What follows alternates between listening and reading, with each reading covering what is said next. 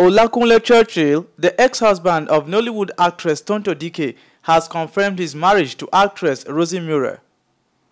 Churchill on Monday, February 15, shared Rosy's pictures on Instagram to celebrate her birthday. He captioned the post, A special sunrise. On this precious day, a great woman was born. During my hard times, when depression would have taken the better part of me, you were my bedrock. When it was like the whole world was against me, you stood by me, even took some measles because of me. When I thought I lost it all, you encouraged me to hope on God that He will give me back all I have lost. Happy birthday, Mrs. Churchill. Rosy replied with a comment Oh, thank you so much. I appreciate you always. We thank God and have never doubted you. In another post, Churchill expressed appreciation to Rosy for the wonderful moments they have shared, also revealing that they have been together for two years.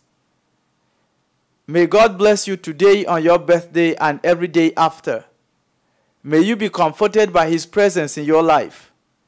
You have brought so much happiness, laughter, and wisdom into our life.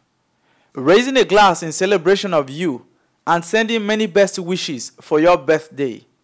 Hashtag two years and stronger. Churchill wrote.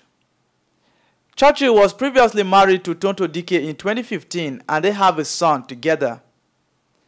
Tonto parted ways with Churchill in 2017 just two years after their wedding over allegations of domestic abuse and extramarital affairs. She told Media Room Hub she was aware that Rosy was the reason Churchill abandoned her and his son, also revealing that her ex-husband bought Rosy a car as a birthday gift. In February 2020, Churchill slammed a 500 million naira suit on Tonto over a 2019 video in which Tonto branded her ex-husband as a cheat and alleged that he is an internet fraudster as well as a ritualist.